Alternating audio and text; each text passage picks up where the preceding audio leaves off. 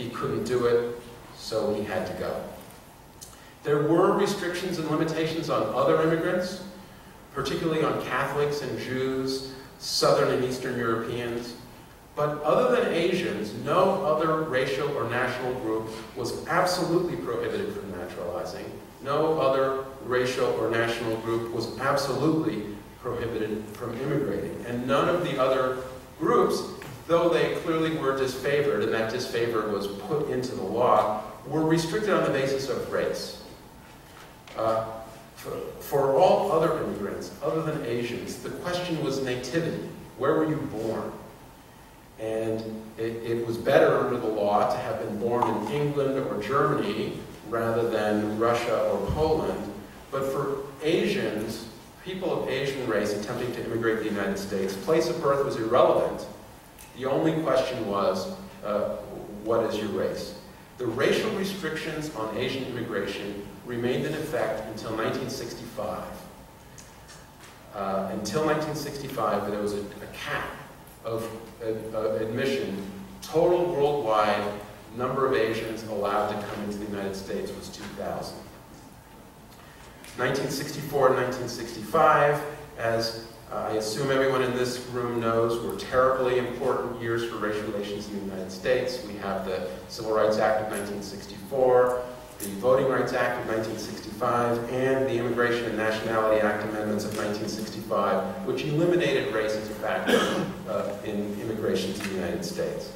This is the statute, the Immigration and Nationality Act amendments of 1965, that will turn the United States into a majority-minority nation through the process of immigration.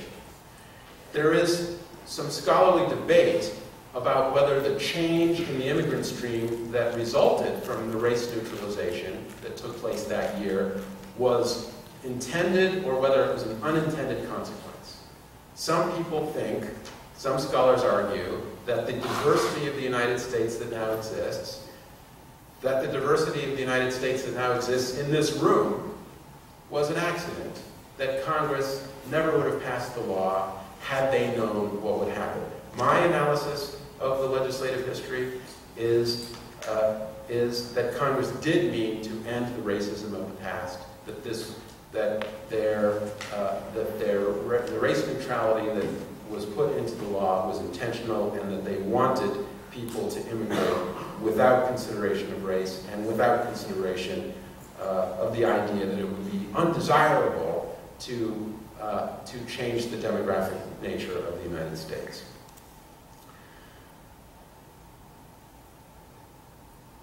Nevertheless, it's clear that racists have not gone away in this country. It, it seems clear to me that, that uh, perhaps among a minority, but among some, Asians are regarded as ineradicably foreign, uh, as dangerous. We see many examples of people not uh, interested in differentiating members of one Asian group for another. when we think about the terrible events that, uh, that brought us here today, uh, it, it's clear, of course, that people are responsible for their own actions, and that, that even bigoted people with closed minds have some responsibility for that too. It's up to them to uh, educate themselves and, and think uh, in a way that they believe is right.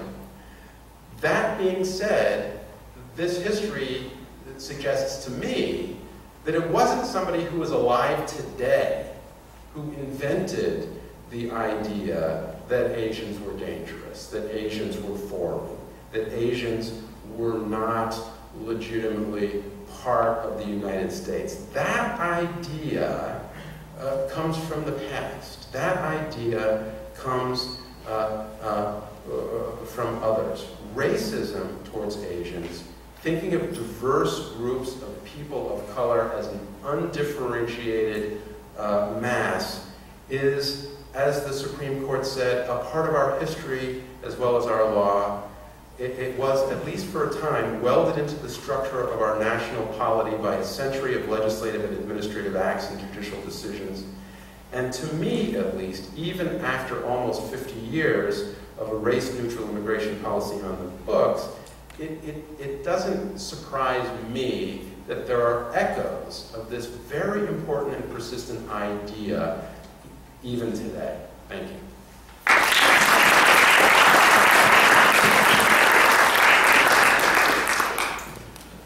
Thank you. Uh, before uh, I invite our next speaker, um, there's a student who wants to make a quick announcement regard, regarding the Sikh Studies um, uh, student group. So Hello everyone, um, my name is Kamal Kaur and I'd like to make two announcements. Um, one of the events that the BIPSHI Club, um, sorry, the BIPSHI, which is the Bhakt Puran Singh Health Initiative, wants to invite all of you to um, the Yuba City Kirtan, which is happening on November 4th. That's a Sunday. It's right here in Yuba City. So, um, like Professor Mann um, presented in his slides, if you want to see a big celebration of Sikh Pride, Yuba City is the place to go. Um, you can actually see the wide um, gathering of all the Sikhs here in California. It's the biggest celebration. And um, also, on the behalf of SCA, I'd like to invite you guys all to our Sikhi workshop, which will be held November 6th. And details for this can be found on the SCA Facebook page, or you can contact a board member, which are relatively sitting on this side of the room. And um, like Professor Mann also said at the end of his lecture, um, Wisconsin, was, the Wisconsin shooting was a not of bigotry, but of ignorance. So if you'd like to enhance your knowledge on the Sikh religion or Punjabi um, people, please come to the workshop. Thank you.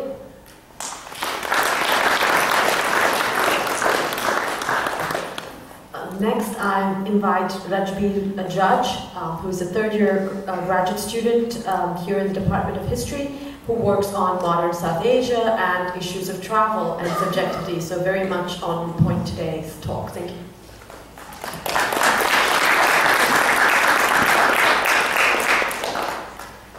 Yeah, this is from a, this is like a paper I'm working on. Um, I thought I presented here. And it's entitled um, "The Political Possibilities of Khalistan?" Question mark. Um, the limits of secularism and liberalism and the Sikh community. So, I'll start. Though my paper is entitled Political Possibilities of Khalistan, I'm not interested in delineating a normative position on what should constitute a Sikh homeland. Rather, my purpose is to offer a few reflections on how Sikh reactions to the Oak Creek Gurdwara shooting preclude certain possibilities for Khalistan and how these limitations are intertwined with liberal and secular discourses that also limit political possibilities for other communities within the United States.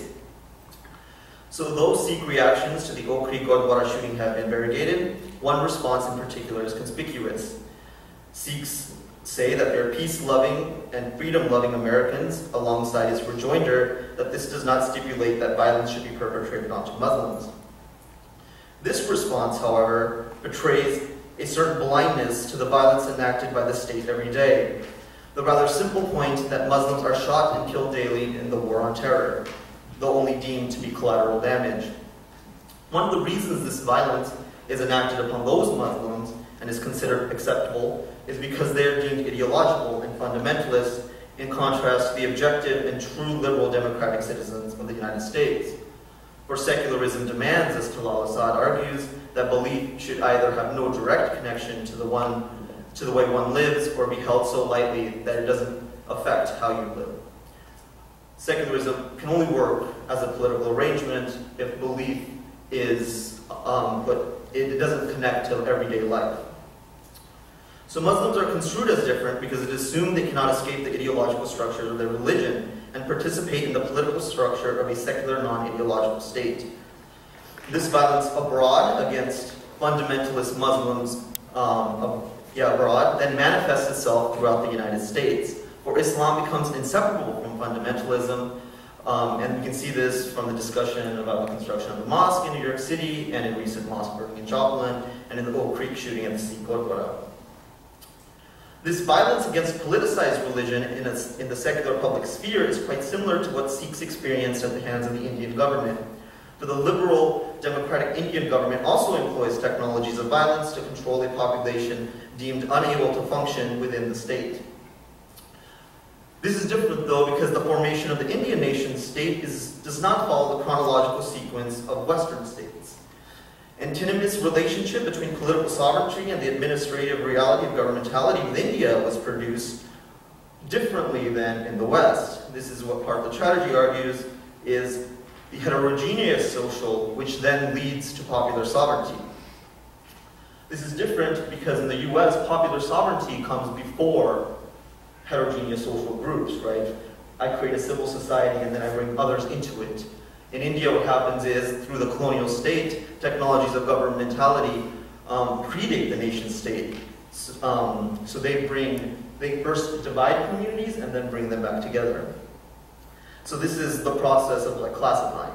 In South Asia, the classifying, reporting, and detailing of population groups in order to create policies relating to land, settlement, revenue, crime prevention, regulation of religious places existed half a century before the nation states of India, Pakistan, and like Sri Lanka emerged. Popular sovereignty did not exist, and populations were not citizens, but subjects in a heterogeneous space. These classificatory criteria, however, define and continue to define governmentality within post-colonial states, where the story of citizenship in the modern West moves from institutions of civic rights and civil society to political rights in a fully developed nation state. Therefore, unlike in the West, those included in civil society in India are restricted to a small section of cultural equipped citizens who are then sequestered from wider popular life of communities. And this is an elite politics. Civil society in India isn't open to all. Um, and then this is different from the heterogeneous spaces that were created in the colonial state, and those constitute for Partha Chatterjee political society.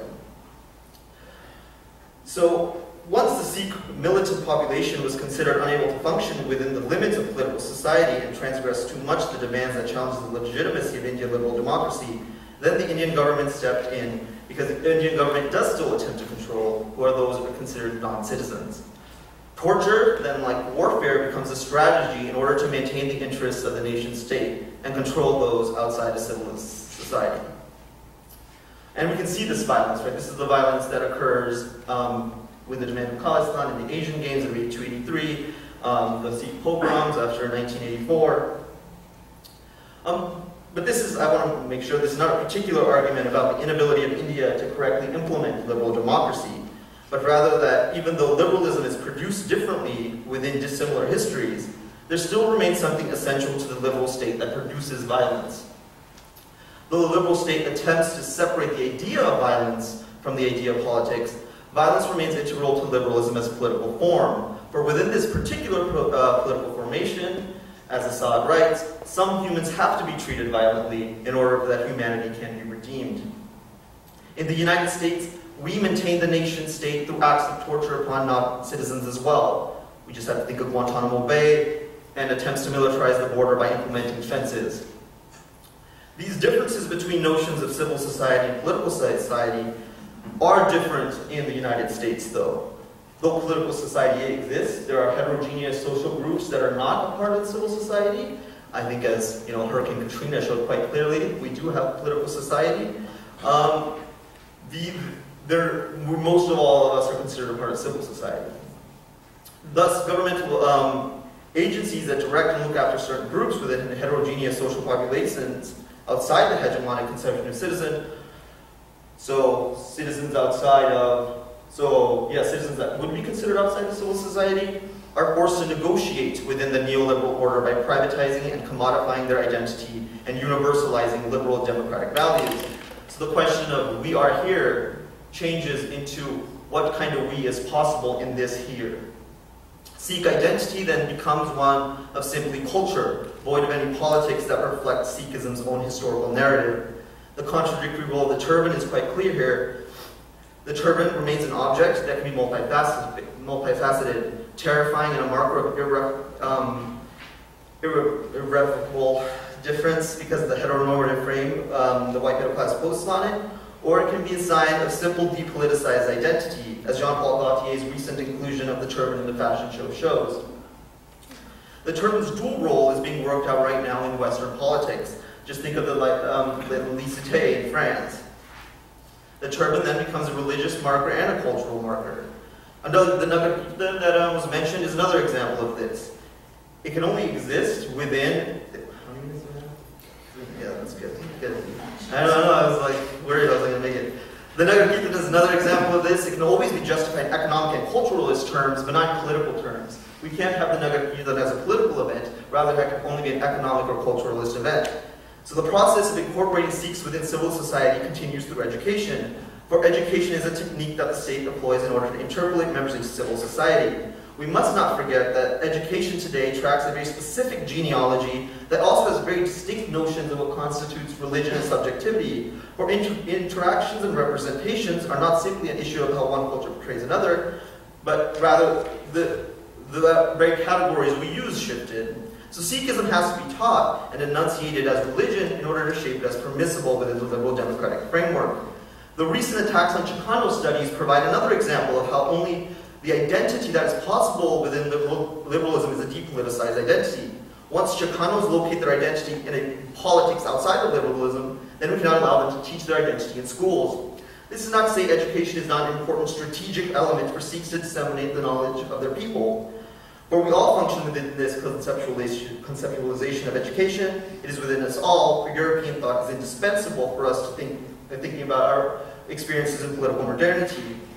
But rather, we still need to think about how this knowledge can be renewed from the margins, as Jake, the Page Chakrabarty argues.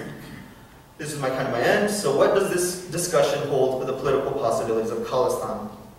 Do I agree with Partha Chatterjee that we need to recognize the importance of civil society and political society? I wonder how much that the political society that is formed within the nation can challenge the existing neoliberal order. Moreover, though the colonial, colonial project enacted great symbolic and actual violence against, for example, the Sikh, Muslim, and Chicano traditions, there still remain possibilities for emancipatory politics within these historically embodied traditions. For example, political Islam, political Sikhism, Aslan.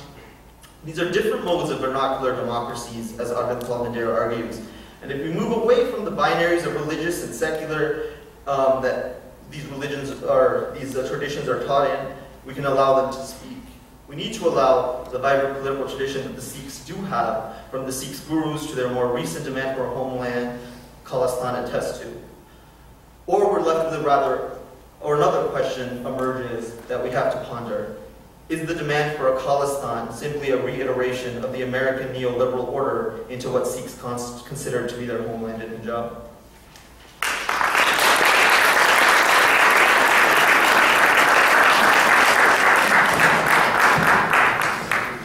final speaker of the day is Professor uh, Richard Kim.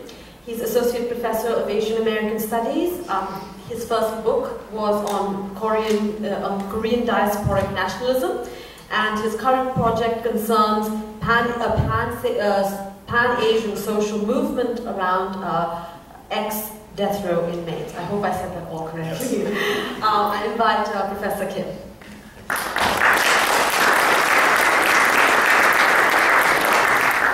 Thank you. I give you a pass with high honors. Thank you for, for coming out tonight. I'm assuming you're all Dodgers fans, one reason why you're here. As um, Professor Tixon said, my esteemed colleague uh, Sunaina Maira is on sabbatical this year in Palestine, so I have been brought in as a proxy. but uh, Professor Tex, asked me to speak about um, an Asian American Studies perspective on the uh, Oak Creek uh, shootings. And um, so I, since this exam week, I, I, sort of saw this as a prompt. And so in thinking about how I would answer this prompt, I thought about how I would talk about uh, the shootings in the classroom at the undergraduate level. And um, the first and obvious thing is that we could frame this historically, that um, much in the ways that Professor Chin talked about, um, how this uh, shooting is part of a long history of anti-Asian violence and hate crimes committed against persons of Asian descent in the U.S. on the grounds of being uh, perpetual foreigners, forever foreigners, as, as being un-American. Um, and so with the early arrival of Sikh Punjabis in the early 20th century, the Orientalist tropes that grew out of the anti-Chinese, anti-Japanese movement um, became attached to Punjabis, and uh, hence they were vilified as the new yellow peril, as some of the literature at the time uh, extolled. And so this eventually led to their exclusion as racialized aliens ineligible for citizenship. Um, and on the grounds that they were perceived as inassimilable, as uh, they constituted a threat to American society. And so, ironically, even though uh, Punjabis were uh, legally or scientifically classified as Caucasians at the time, um, they came to be constituted legally as aliens ineligible for citizenship, much like the Japanese, Koreans, and Chinese that preceded them. Um, so we don't see a, dramatic increase in South Asian immigration until the mid-1960s as a result of the immigration exclusion coming out of the citizenship cases. And um, in the mid-1980s, we this is the time of a resurgence of the model minority thesis where Asian Americans are extolled as being an exemplary minority in American society. Uh, we see an exponential rise in hate crimes being committed against uh, people of Asian descent. And so, in terms of the South Asian community, you have the Dog of the mid-1980s. Um, a rash of murders and violence committed against uh, Indian immigrants in northern New Jersey. And a similar kind of rhetoric of their un-Americanness uh, uh, was cited by the perpetrators. One was also, uh, they, they talked about the economic success of these immigrants. Um, and this was coupled with their un-Americanness. Um, so, and these hate crimes that were committed during the 1980s um, typically were not perceived as hate crimes or racially motivated um, crimes, but rather as isolated, isolated incidents or incidents of extreme patriotism or incidents of deranged individuals rather than a, pattern of racial violence. So this brings us to um, the Oak Creek shooting.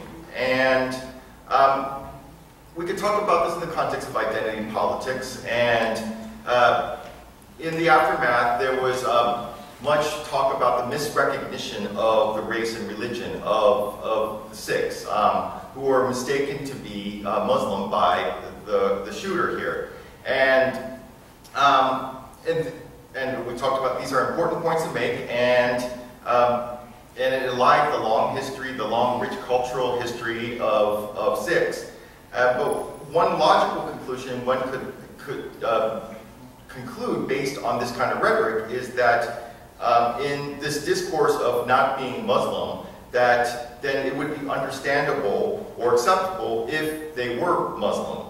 Um, and at the same time, I remember there was a, a mosque burning um, in Illinois around the same time, and that received very little uh, press coverage at the time. Um, so, so it, with the larger context, then, this war on terror, where South Asians are targets of, of the U.S. government in the war of terror, along with uh, Muslims and Arabs, um, has created this large